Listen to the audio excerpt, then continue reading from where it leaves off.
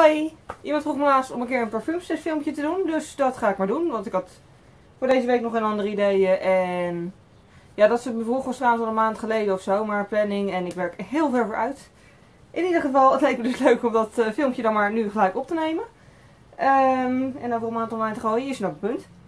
Het is geen gigantisch lang filmpje waarschijnlijk. Um, dat weet ik nog niet, want ik ben nu net begonnen met filmen. Maar je snapt mijn punt. Het uh, zijn maar acht parfums. Ik heb persoonlijk niet heel veel parfums.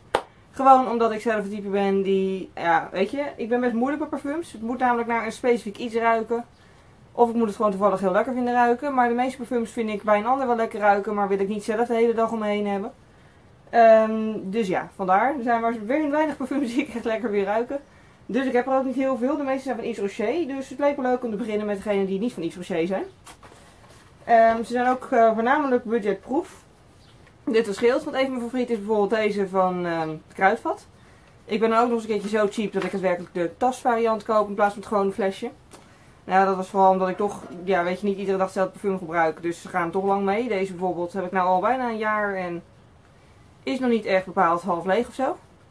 Tenminste, ik weet niet precies hoe lang ik hem al heb. Ik heb er een keer een review over gedaan, dus zo lang heb ik hem al in ieder geval. Uh, het is in ieder geval Black Vanilla en hij ruikt naar Freesia, vanille en musk. Ja, ik ben ook nog eens een keertje gruwelijk, daarom doe ik ook niet heel vaak parfumreviews. Ik ben nog eens een keertje gruwelijk in geuren beschrijven. De geurnoten, ik herken ze echt niet.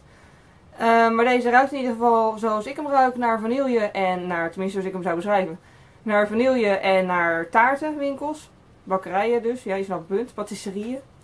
Hij ruikt in ieder geval naar gebak. Hij ruikt echt super lekker. Ik, dit is echt zo'n ja, zo'n lucht waar ik gelijk trek van krijg. Dus vandaar, ik vind hem echt vooral super lekker als ik toevallig, ja, weet je, ik baseer ook vaak op kleuren. Dus als ik toevallig, ja, ongeveer gelige of naturel tint kleding aan heb, draag ik deze graag. Of als ik gewoon, weet ik veel, zin heb om naar gebak te ruiken. Ik vind hem in ieder geval super lekker. Uh, ik weet ook niet meer hoe duur die was trouwens, maar kruidvat dus hoe dan ook goedkoop. En dan heb ik er nog eentje van de kruidvat, die is ouder en ik heb het dingetje een beetje gemold, dus dat gaat niet meer dicht. In ieder geval Cherry Bloom. Um, die ruikt naar raspberry, kersenbloesem en blond hout. Geen idee wat dat verder is. Die is wel helaas bijna op, dus ik moet een keer nieuw kopen. Volgens mij hebben ze hem wel, denk ik. In ieder geval ruikt deze naar kersen en ja, weet je wel, ja, kersen en bloemen. Eigenlijk, dus. Terwijl er raspberry in zitten geen kersen. Maar ik vind hem naar kersen ruiken. In ieder geval, ruikt dus naar fruit en naar bloemen. Ik vind hem super lekker ruiken ook. Deze gebruik ik zelf meer als ik gewoon, weet je, een heel licht luchtje wil, maar wel lekker. Weet je, bloemig en, weet ik veel, fruitig en zomerlenteachtig wil ruiken. Vandaar dat hij ook best wel al leegachtig is, want hij was goedkoop dus, en hij ruikt heel lekker, dus ik gebruik hem vaak. Um, ja, de volgende is eentje van Naomi Campbell. Die kocht ik bij de Action omdat hij goedkoop was. Cat Deluxe. Ik weet niet precies waar hij naar moet ruiken, maar hij ruikt in ieder geval, ja. Het is, vind ik wel zo'n parfumluchtje, maar het is licht, weet je wel. Niet dat het te erg veel is. Um, ja, omdat er luipaardvlekken op staan, draag ik hem graag als ik toevallig kleding draag met luipaardvlekken. Want zo logisch ben ik alweer. Of als ik gewoon naar parfum wil ruiken, maar niet te veel en niet iets specifieks zoek qua lucht. Dan gebruik ik deze graag. Uh, ik weet ook niet hoeveel deze was eigenlijk. Maar ik kocht hem bij de Action, dus ik weet eigenlijk ook niet of die bij de meeste zaken nog te koop is. Dat uh, roze dingetje wat er aan zit trouwens, dat kan je op je telefoon doen. Maar ik vond hem schattig om eraan te laten zitten. Want aan mijn telefoon gaat het toch kapot. Uh, de volgende is meer een soort van olie, maar ik gebruik hem zelf als parfum. Met glittertjes. sparkling, sparkling Beauty Oil, Coco en Orange van Isoché. Ja, we zijn nu bij de luchten beland. Ehm, ja, hij heeft gouden glittertjes en hij ruikt naar van die pimskoekjes. Weet je wel, met chocola en um, chocola en sinaasappel. Zoals dat smaakt, zo ruikt deze. Echt super lekker. Ja, het is ook weer zo'n geur waar ik echt gelijk trek van krijg. Ik vind hem zelf het lekkerste in de winter, want ja, weet je wel, ik vind die geuren nog meer bij de winter passen dan bij de lente. Maar soms gebruik ik hem ook gewoon in de zomer, omdat hij op zich wel heel lekker ruikt. En ja, weet je, ik vind de gouden glittertjes gewoon super mooi. Je ziet ze ook echt op je huid. Uh, deze is van de kerstcollectie van een paar jaar terug, maar volgens mij brengen ze hem wel zo'n beetje ieder jaar weer terug, dus dat scheelt. En ja, de volgende zijn ook allemaal, blijf liggen.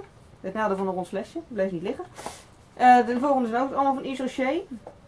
Uh, de volgende is So Elixir. Dat is eh, de laatste die ik gekocht heb, nieuw. Ehm, want ik had er een sample van en ik vond hem super lekker ruiken. En ik had, dacht al weken van ik moet een keertje de echte kopen.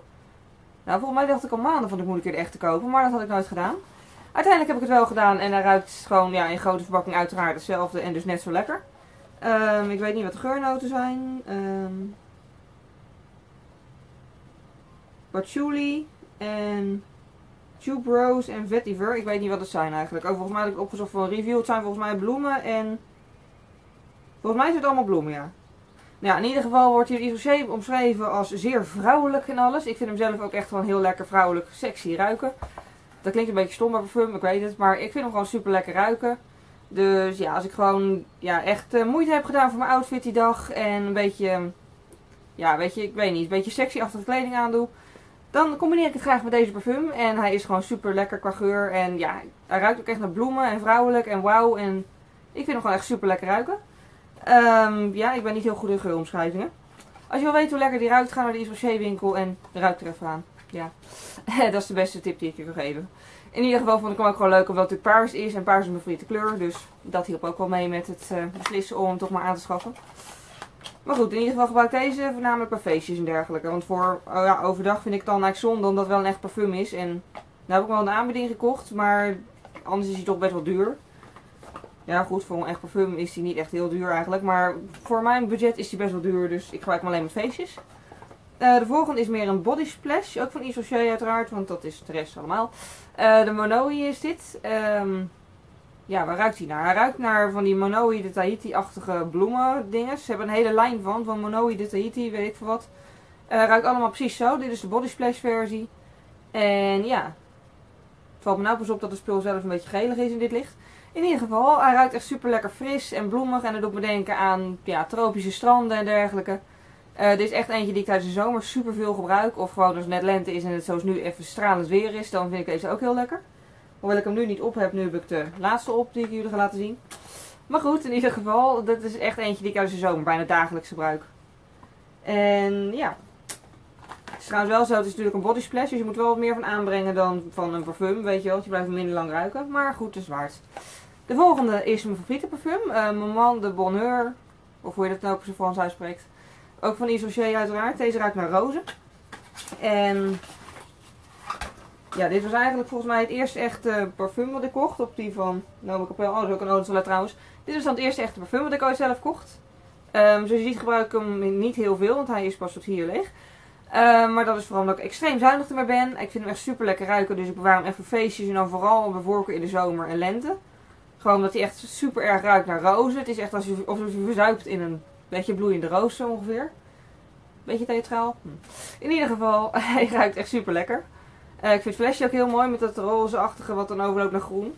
En ja, ik weet ook niet meer of wel deze was, maar in ieder geval heb ik deze ook een aanbieding gekocht.